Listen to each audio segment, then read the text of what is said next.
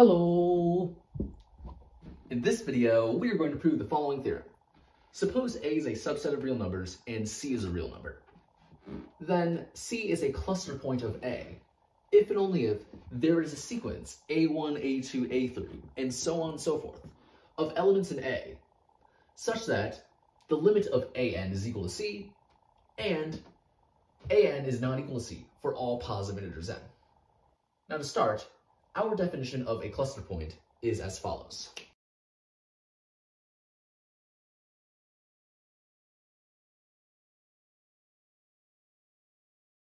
Suppose A is a subset of real numbers and C is a real number.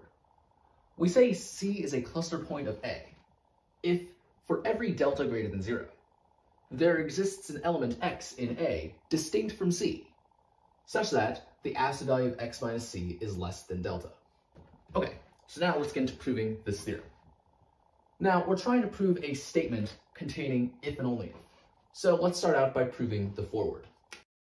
And to do that, let's suppose C is a cluster point of A.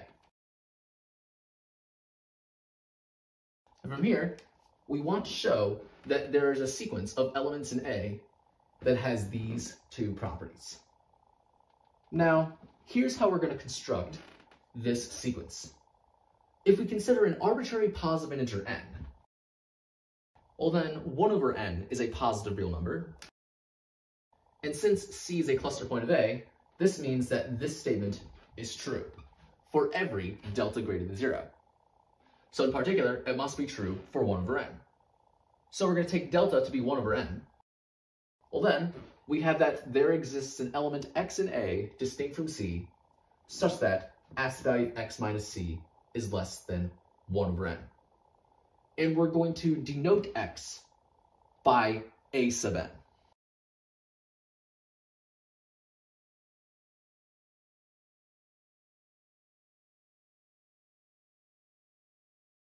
So, for each positive integer n, we can pick an element a sub n in A, such that a sub n is distinct from c, and absolute value of a sub n minus c is less than 1 over n. And so, this gives us a sequence of elements in A. Now, we already know that our sequence satisfies this property, because that's how we've defined the sequence. All we have to do now is show that the limit of our sequence is equal to c. And we're going to show that this is true from the definition of the limit of a sequence. So from the definition of the limit of a sequence, this means the following. It means for every epsilon greater than zero, there exists a positive integer k, such that for all positive integers n greater than or equal to k, the absolute value of an minus c is less than epsilon. So since we're trying to prove a statement about every epsilon greater than zero, let's give ourselves an arbitrary epsilon greater than zero. And from here, we want to find a positive integer which makes this statement turn out true. Now, it's nice if we know that the sequence 1 over n converges to 0.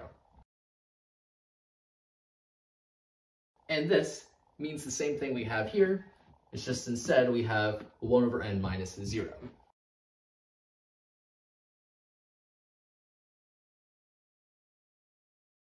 And since n is going to be a positive integer, I'm just going to rewrite absolute value of 1 over n minus 0 as 1 over n. Okay, so we know that 1 over n converges to 0, which means we know that this statement is true. And this statement works for every positive real number. So in particular, it must work for the positive real number epsilon that we have here. So taking epsilon to be the epsilon we have here, we have that there is some positive integer that makes this statement turn out true. And I'll call that positive integer k.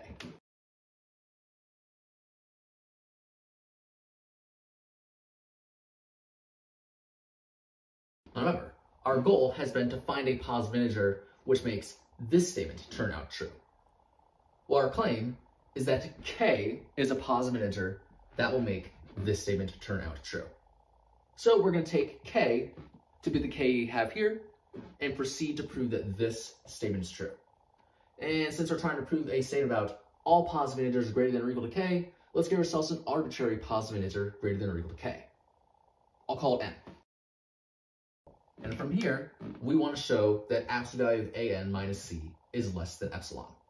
Now, based on the way we defined our sequence, we know that for all positive integers n, the absolute value of an minus c is less than 1 over n. So since that statement works for all positive integers, then in particular, it must work for the positive integer n that we have here. Therefore, we have that absolute value of an minus c is less than 1 over n. But then, we know that for all positive integers n greater than or equal to k, 1 over n is less than epsilon. So since that statement works for all positive integers greater than or equal to k, then in particular, it must work for the positive integer n that we have here. And so, we have shown that absolute value of an minus c is less than epsilon, which is exactly what we wanted to show. And so, we have proven this entire statement, which proves that the limit of an is equal to c. And so, this proves the forward direction, because we have found a sequence of elements in A such that the limit of that sequence is equal to c. That's what we have here. And an is not equal to c for all positive integers n. That is what we have right here. So now let's prove the converse. Now in the proof of the converse, we are assuming that there is a sequence an in A such that the limit of that sequence is equal to c and an is not equal to c for all positive integers n.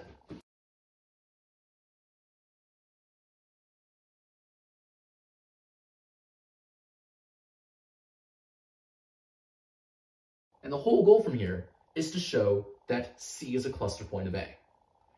And by definition, this means we want to show for every delta greater than zero, there exists an element x in A distinct from C, such that absolute value of x minus c is less than delta.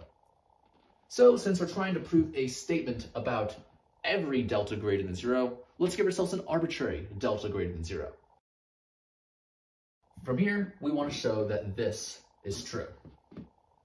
Well, since we know that our sequence converges to C, we know that this means that this is true. And this statement works for every positive real number. So in particular, it must work for the positive real number delta. So taking epsilon to be delta, we have that there is some positive integer k, such that for all positive integers n greater than or equal to k, the absolute value of an minus c is less than delta.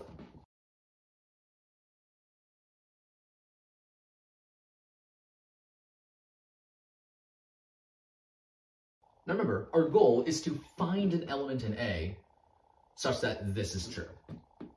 Well, we can show that A sub k is an element in A such that this is true. So let's take x to be A sub k. Here, we want to verify that A sub k is an element of A, A sub k is distinct from C, and the absolute value of A sub k minus C is less than delta. Well, those three facts don't take much work to verify. Since this is a sequence of elements in A, of course A sub k is an element of A. And by our second fact of this sequence, every element in the sequence is distinct from C, and therefore A sub k must be distinct from C. And then, since this statement works for every positive integer greater than or equal to k, in particular, it must work for k. So we have that the absolute value of a sub k minus c is less than delta. So all three requirements are satisfied, which means we have found an element in A such that this is true. And so this proves that C is a cluster point of A.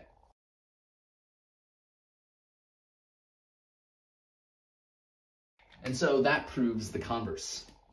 Because we've proven both the forward and the converse, we have proven this entire statement. So this completes the proof. And so yeah, that's pretty much it for this video.